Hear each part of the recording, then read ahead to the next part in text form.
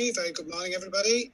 And I'm going to go into screen mode. I'm going to share my desktop and then we're good to go.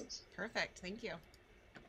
Um, so I am working on somebody else's computer and it seems to have a virus. So I do apologize. There's big pop-ups um, appearing, so just ignore them if you can see them.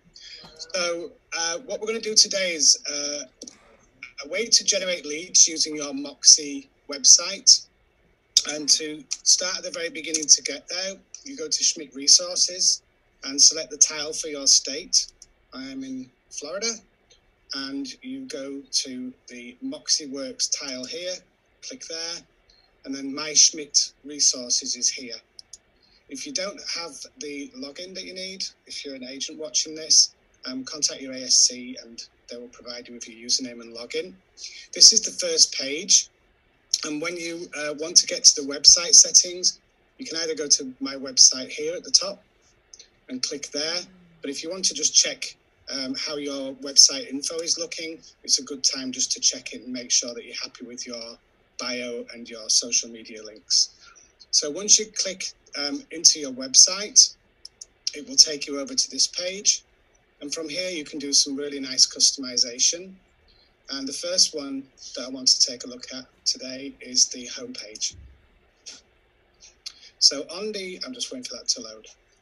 On the homepage, there's different ways of um, building your homepage out. There is a pre-made template, which is very basic. But today we're going to look at the more advanced options so that you can have lead generation tools on the, uh, the front page. So when you first log into uh, Moxi and you've chosen your page, sorry about the pop-ups, um, you can choose your page style and you can select custom. So you've got search focused, which is the, the pre-built template, and agent focused. These are perfectly adequate websites, but once you want to move to the extra tools, you'll want to go to custom. And I've been just building different custom pages. So I'm going to select one that I, I kind of put together already for this, you know, demonstration.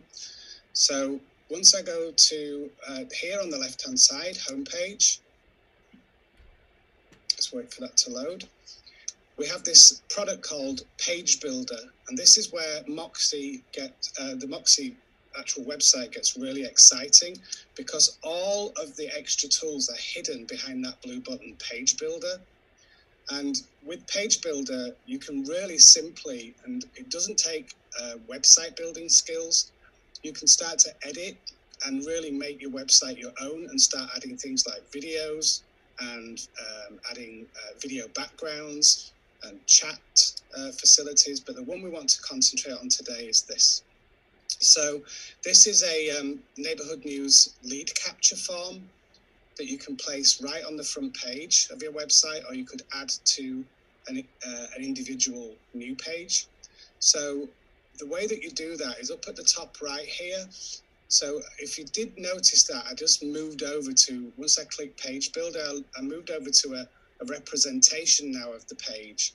And as you can see, as I move around, there's blue boxes appearing as I move around the page. This is allowing me to edit those sections. So what I'm going to do is remove this section and then rebuild it. Okay, so here I have a, a blank box now, and in that box, I want to put one of the tools.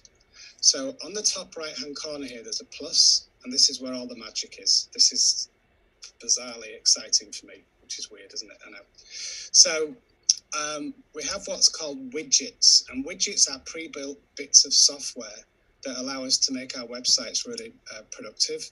So here are the widgets, and there are also um, modules and other add-ons which we're going to cover over the weeks.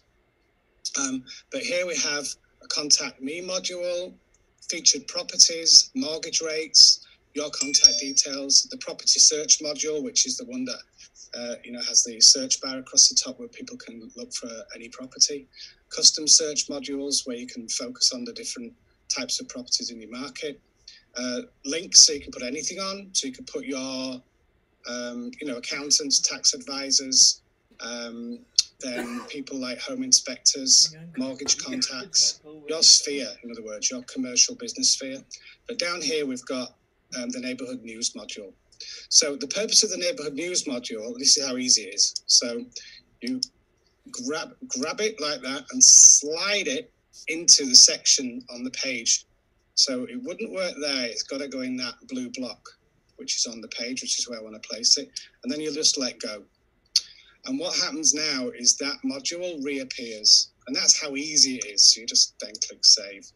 So what that does is that allows a person to land on this page that we've sent, say, from a social media post or an email campaign, excuse me, to simply sign up for the neighborhood news. So they enter their name, the email, and the desired zip code for their area. And that will automatically then transfer that as a new lead, a new opportunity for the agent into their engage. So it goes from the website and then appears as a leading in engage and sets them up in engage automatically for a neighborhood news report, which is a which is a live market report that goes out once a month um, for um, for that particular zip code to that client. So once you're done, click done, and then it says, do you want to publish that change? So I'm going to click publish, and then that will appear out on the um, on the website. So to exit out, I'm going to go to admin home and then I can view the website. I apologize for these pop-ups.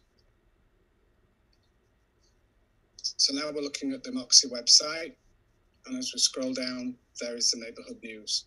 So an alternate version of this is to build a page, and that would allow us to have a landing page to specifically post onto social media so people can just sign up for neighborhood news. So an example of that would be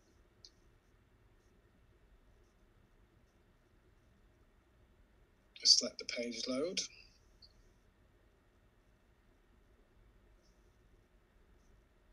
Would be this. So the neighborhood news is really, really useful for people who are looking to buy or sell real estate, but in particular to sell, because what it does is it lets a seller know what's going on in their market so this particular page here has um, the zip code here. It's got um, the properties that are active in the market, um, and it also gives them information um, that they can edit. You know, they can change the zip code and, and keep an eye on the marketplace. Um, but you could add that landing page uh, form right there. Um, another way of doing that, if you go over to admin again, and you create a new page. So you would go to site pages, add new. And let's say we wanted to build a page that is just for sending people from an email follow up plan. So maybe you've got a lot of contacts and you want to invite them to sign up. So you want a page specifically for signing up for neighborhood news, or you want to post neighborhood news onto your Facebook page and have them sign up from Facebook you would create a custom page here. So site pages, custom page, submit. And then we're going to give it a name, which will be sign, oh, not sing, sign up for free market report. Okay, now you can change that terminology just as you like. Um, now, see we've got text editor here. You just pop over to page builder. It just makes it so much easier. So I'm going to click page builder. Oh, just a second.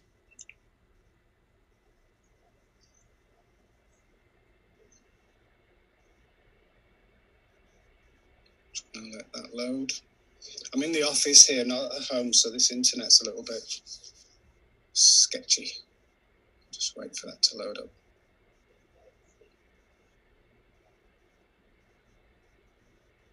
Okay, I'm going to do it a different way. I'm going to publish the page. Might even start again if it doesn't load. Yep, it's coming. Okay, so the URL is sign up for free market reports, which looks good. I gave the name of the page a simple, friendly name so that I can use that on Facebook. And then here I've got a blank page. All it will have on is the logo and, and my menu and the legal footer. And now I'm going to build what page is going to look like. So I go to, uh, first of all, I want to divide the page into two. um, so that I've got a left and a right column or, or a, a, a place above and below when it's on a cell phone. Now I do that by going to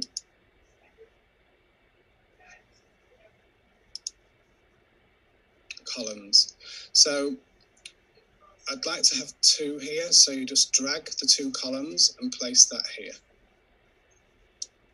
Okay, so that's done by selecting the group, columns, pre-built rows, save, just select columns. Then you can have as many columns as you like, but two is the one here. And the reason I'm doing that is because I need to insert this module into a column. So now I'm going to go back to widgets that we had earlier. I'm going to get my neighborhood news module and drop it into the right hand column. Okay, then I'm going to click save. Now on the left hand side here, um, I'd like to have something about um, what this is um, intended to offer. So if I go back to just a second, oh, good grief, I've got pop-ups all over the place. Um, I'm just going to get back to my page here. Um, if you remember, we were looking a few seconds ago at the neighborhood news and what it looks like. So to give people a kind of taster of what they're going to receive, I'm going to take a screenshot of the neighborhood news so they can get an idea of what it's going to look like. Um, on a Mac, you do Shift Command 4 and then just select the area that you want to. If you look it up for a, a PC, just Google how to do a screenshot. You just basically select the area that you want to put in. And then I'm gonna um, got a pen appearing. just gonna save that to photographs. So now I'm gonna go back to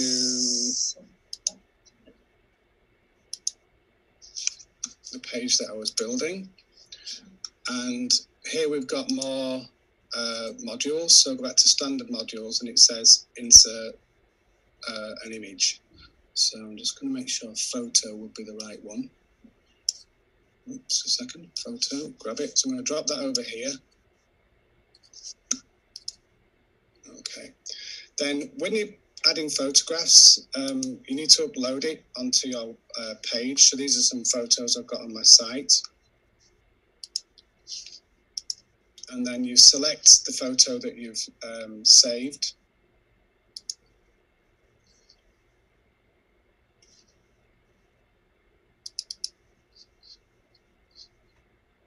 If I can, if it'll let me.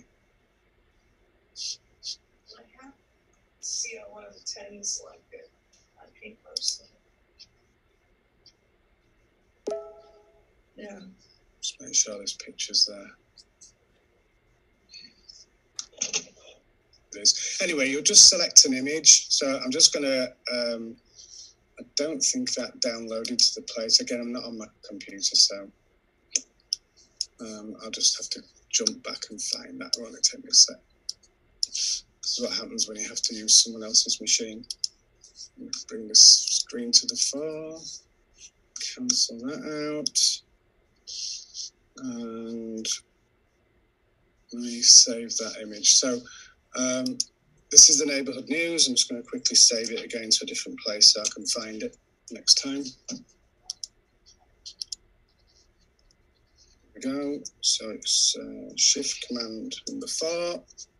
Select the area I want to copy, which will be down to just there actually. Okay, this time I'm going to do it differently, which is select it here. If it'll let me save it to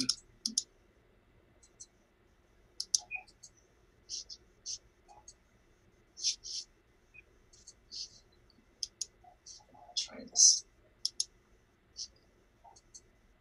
So what happens when you use someone else's machine? It's not set up the same as mine. Anyway, you would put that image just to save time here.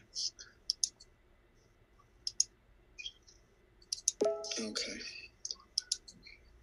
That works. I just back down of everything and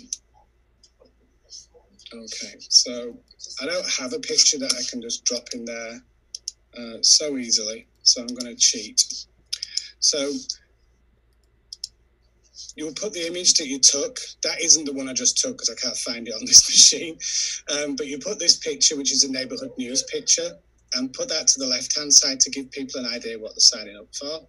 And then click done and then click publish. And now you've got a dedicated page. So not this is different to the one we did at the beginning, which shows on the um, main front page of the website. This is a page that you can then immediately share onto social media.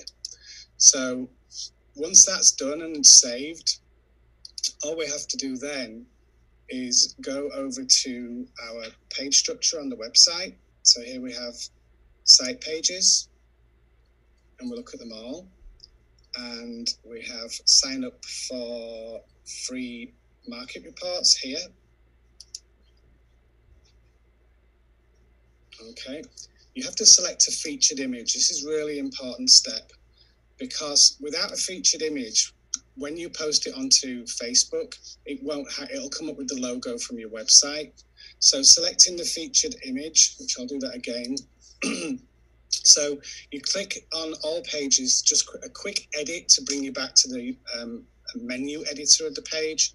And here it says select featured image. So when people are posting links on Facebook, you're probably wondering why the um, the image is always the logo from the website. It's because they haven't selected that image. Once that's done, um, we uh, update the page. That's publishing it out to um, the server and everything's good to go. And this is now uh, a page that's fully set up to post. So that's the permalink right there. So this is my brand new page with its lead capture form. It's very simple and, and it will work because of its simplicity. And then all we have to do then is jump onto um, a social media page I have no idea whose social media page this is, but we're going to jump on it. And you just click here and click paste that link. And it will read from the server the image. So now we've got the Moxi um, link, sign up for free market reports. And before we give away somebody's privacy, we'll get rid of that. Okay, right. So that is everything for that today. So, oh, if there's any questions, do you want to pop them in the chat box? I don't know if you want to quickly do that. Sometimes they'll pop up. It's one zip. It's one zip code at a time, but you can do multiple reports.